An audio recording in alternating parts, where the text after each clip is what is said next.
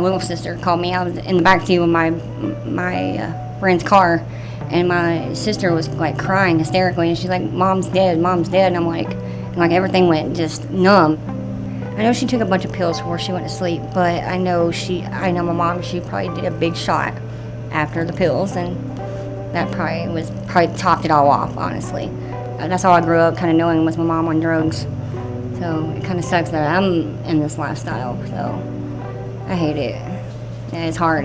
Like I guess now I understand more now that I'm older what my mom went through, but still no excuse. You know, it, it's hard though, for sure. Cause I'm scared I'm gonna die from it. I don't want to die from it. It's scary. It's a scary thought. Like I've overdosed before, but um, my baby's dad found me.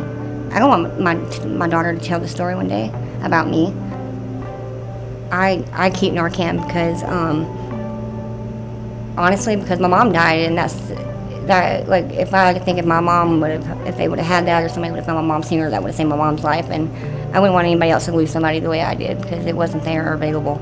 And now that I know what addiction is, I used to hate my mom for, like when I was a little kid, I used to hate like the things she would do to me. And now looking back, it's like my mom had, it. my mom was sick and she had a problem, and I always keep one or two available no matter who needs it, I have it. So like someone came bang, banging on my door a couple weeks ago, like banging, screaming, and I, luckily I had it because no one else did. And and that that guy lived. Fortunately, he survived. So I was like, at least I got to save someone's life. I do want to get clean. I do. I want I want to get I want a different life than this. This is not a life to have, for sure.